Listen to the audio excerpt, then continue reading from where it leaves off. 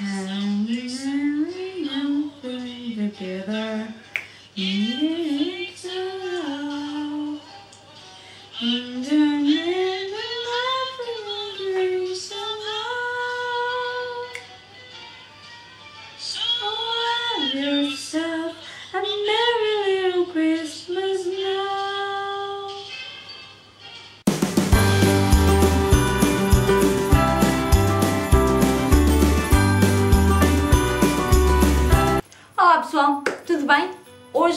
de mais uma tag natalícia. A tag que eu hoje vos trago é a Christmas Carol Book Tag, que foi criada pela Samantha do Novels and Nonsense e eu gostei muito desta tag, acho que é bastante divertida e por isso decidi trazer neste mês de Natal especial. Então vamos à tag. Deck the Halls mostra algumas das tuas capas favoritas. Eu vou mostrar três capas eh, favoritas que eu já mostrei no meu vídeo do Beautiful Books, à exceção de uma que eu ainda não mostrei, mas vou mostrar. A primeira, eu acho que a gente já vai saber qual é, vai ser Orgulho e Preconceito da Jane Austen, nesta edição da Splinter, que é uma edição muito, muito bonita. Ela é toda, toda trabalhada, portanto, por dentro, por fora, portanto, é das minhas capas favoritas. Toda esta coleção é maravilhosa e eu um dia vou querer ter a coleção toda eh, só para mim. O segundo livro é o Mrs. Dalloway da Virginia Woolf, nestas edições da Clube do Autor, que são espetacularmente maravilhosas, tal como a do um, Orgulho e Preconceito, é toda trabalhada por fora e por dentro e portanto são edições mara maravilhosas. E por última a edição que eu escolhi é a última edição que um, foi editada cá em Portugal do Harry Potter, que é esta edição editada pela Editorial Presença e é assim, agora está a fazer furor cá em Portugal, entretanto lá fora já saíram outras edições também igualmente maravilhosas um, e eu adquiri este para a minha coleção para ter assim uma recordação desta edição, porque eu não pretendo fazer esta edição, porque um dia quero comprar sim uma edição em inglês. Let It Snow, um livro que se passa no inverno. O livro que eu escolhi foi um livro que eu li recentemente, que é o Dash and Lily Book of Theirs, que é um livro que se passa no Natal, no inverno, passa-se em Nova York, portanto passa-se efetivamente no inverno, porque o Natal no hemisfério sul passa-se no verão. E portanto, é, foi um livro que eu li recentemente e que gostei muito e dá aquela sensação mesmo de livro natalício passado no inverno, com neve, com essas coisas todas maravilhosas que o Natal passado no inverno nos traz e portanto é um livro que eu recomendo que se leia agora assim no Natal e portanto é assim uma ótima leitura natalícia. Rudolph the Red-Nosed Reindeer, um livro onde a personagem principal é um pouco desajeitado. Eu não escolhi uma personagem principal, eu escolhi o Ron de, da série Harry Potter. Uh, para mim ele também é uma das personagens principais, sendo que para mim existem três personagens principais, que é, um, que estão, é aqueles que estão sempre no centro de tudo, apesar de que o Harry Potter é, pronto, é, é o que dá o nome à série. Mas o, Ron para mim é das personagens mais desajeitadas que eu já li em todos os livros e será sempre aquela que eu vou recordar como a mais desagitada e eu relaciono-me imenso com ele porque ele tem medo de aranhas e eu também tenho medo de aranhas e portanto eu relaciono-me um pouco com ele, que eu também sou um bocadinho desagitada e às vezes faço com cada coisa em público que mais valia estar quieta. Holy Jolly Christmas, um livro que te faz feliz. O livro que eu escolhi foi o Fun Girl da Rainbow Rowell, é daqueles livros que eu li de uma ponta à outra com um sorriso no rosto e com um sentimento de felicidade portanto é um livro que eu vou querer reler vezes e vezes sem conta porque ele me faz feliz. The Christmas Song, História de Natal favorita. Eu ainda não li muitas histórias de Natal, eu conto ler alguns contos um, para o final deste mês uh, e portanto eu espero para o ano já ter algumas respostas diferentes. Mas para já o conto de Natal que eu mais gosto é o A Christmas Carol de Charles Dickens, que é um conto muito, muito interessante e ensina muito, para além de ser apenas um conto infantil, ele ensina bastante a toda a gente, quer sejam crianças ou adultos, um, e portanto é um conto que eu recomendo que toda a gente leia pelo menos uma vez na vida e eu gosto muito, muito deste conto, a sério, foi como imenso ao longo de toda a história um, que, que, foi contada. E portanto eu recomendo muito que leiam este conto e, e é isso, conta a história de um homem que, que é assim bastante forreta que não liga muito às coisas e que na véspera de Natal recebe a visita de três uh, fantasmas, o fantasma do passado, o fantasma do presente e o fantasma do futuro que lhe vão mostrar como é que ele era, como é que ele é e como é que ele será se continuar a ser a mesma pessoa e portanto ele ao longo da noite vai visitando a sua pessoa uh, ao longo dos tempos e no final ele vai, vai mudar ou não, portanto terão que ler para saber se ele muda ou não um, mas eu acho que é um, um livro que ensina muito. Frosty the Snowman, um livro com um personagem que é frio e duro por fora, mas querido e quente por dentro.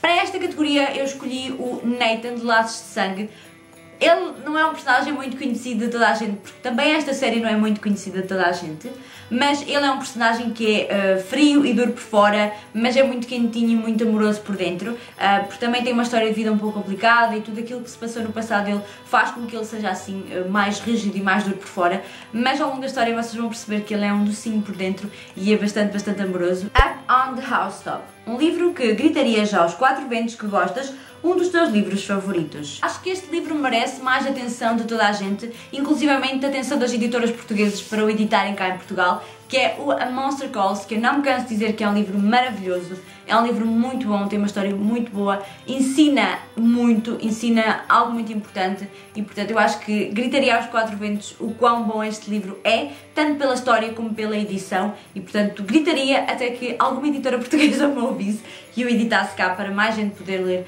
um, esta história maravilhosa. Santa Claus is Coming to Town, um personagem que cuida de outros personagens. Para esta categoria eu escolhi a Mandy Run e peço desculpa porque eu nunca me lembro o nome desta senhora, é assim daquelas coisas impressionantes, é sério que nunca me lembro. Uh, já para uma outra tag que eu disse o nome dela, tive que ver qual era o nome dela, porque eu para nomes sou mesmo terrível. E eu escolhi este, a Amanda Ron para esta categoria porque ela é mesmo uma personagem que está sempre a cuidar dos outros. Quando, por exemplo, quando o Harry ou quando a Hermione vão para a casa deles, do Ron, uh, ela está sempre a cuidar deles, a fazer comida e a fazer eh, roupinha e a fazer camisolas e, e Pronto, ela está sempre a cuidar dos outros e isso é uma, uma das características que a torna tão um, boa ao longo dos livros e adequa-se muito bem a esta categoria. The Holy and the Ivy mostra um livro verde ou vermelho ou um livro com verde e vermelho na capa. Para esta categoria e para a capa vermelha eu escolhi The Elite da Kara Cass, porque tem assim bastante vermelho na capa. E para a categoria com verde eu escolhi o The Snow White dos Irmãos Green, para além disto, ela também se adequa à categoria do verde com vermelho, porque ela tem vermelho no vestido e na maçã e no laçarote da cabeça e... e é só. Silent Night, o teu clássico favorito. Para o meu clássico favorito, eu não podia não escolher o Orgulho e Preconceito da Jane Austen. Tornou simplesmente um dos meus clássicos favoritos e mudou completamente a visão que eu tinha sobre eles.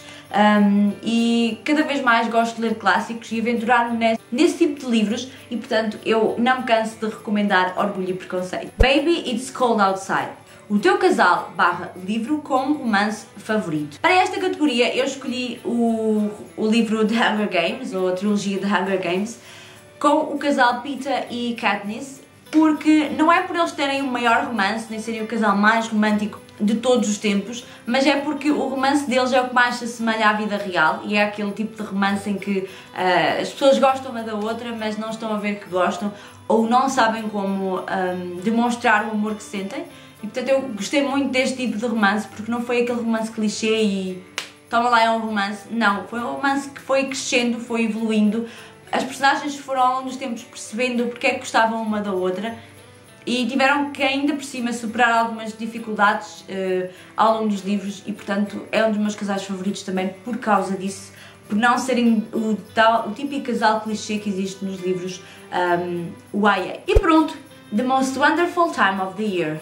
Diz-nos a tua tradição de Natal favorita. Como tradição de Natal favorita eu tenho duas, eu não consegui escolher apenas uma. A primeira delas é o enfeitar da árvore ou montar da árvore, no meu caso como é uma árvore artificial eu tenho que montar. Que é daquelas épocas que nós gostamos muito cá em casa, tanto em fazer em família um, e é daqueles momentos que eu gosto muito que é o montar a árvore, enfeitá-la, colocar as luzinhas, ligá-la, ver se está tudo bem, portanto é daqueles momentos eh, muito especiais em família. E o segundo momento que eu gosto muito, a segunda tradição de Natal, é a preparação da ceia de Natal. Portanto, preparar tudo, pôr a mesa, uh, preparar-nos a nós próprios, toda aquela preparação para a ceia de Natal é uma, um dos momentos que eu mais gosto. Não é bem tradição, mas são dois momentos que eu gosto muito. Antigamente, tradição, tradição, nós nunca tivemos uma tradição, tradição de Natal, mas havia, houve uma uma vez que esta é muito engraçada e que foi, um, na minha família quem se vestia de Pai Natal era a minha avó, Exato. Era a minha avó e ela vestia-se. Nós, quando éramos mais novos, fazíamos o Natal todos juntos. Quando éramos todas, todos crianças, que horror, porque eu sou a mais nova dos netos e, portanto, estão a ver que eu já tenho 23 anos e sou a mais nova. Quando nós éramos mais pequenos fazíamos o Natal todos juntos e, e a minha avó ia ao quarto vestir-se de Pai Natal para vir entregar as prendas. E, e isso era tipo tradição. E houve uma noite em que eu, lampeira, fui ao quarto e percebi que era ela, portanto uh, foi muito engraçado e, portanto, descobri que Pai Natal era a minha avó. e é mais ou menos isso. Não existem uma, umas tradições de Natal específicas. Por exemplo, quando os meus pais moravam uh, na África do Sul, sei que eles tinham algumas tradições mais inglesas lá, porque também tinham mais acesso a coisas inglesas lá. Um, mas eu, como, moro, como nós agora moramos cá, não, não temos acesso a esse tipo de tradições como eram os crackers e, e, alguns tipos de coisas que lá existem mesmo tradicionalmente inglesas e que cá não existe tanto essa tradição. Espero que tenham gostado desta tag. Digam-me aqui nos comentários qual é a vossa tradição de Natal favorita, aquele momento especial que vocês uh, todos os anos fazem e aquele que mais gostam. E é isso, espero que tenham gostado desta tag mais natalícia. Um Feliz Natal para toda a gente, que tenham muitas prendinhas no vosso sapatinho. Espero que tenham um Feliz Natal todo o ano, que todo o ano sintam como se fosse Natal. E é isso, espero que tenham gostado. Um grande beijinho e até ao próximo vídeo. Tchau!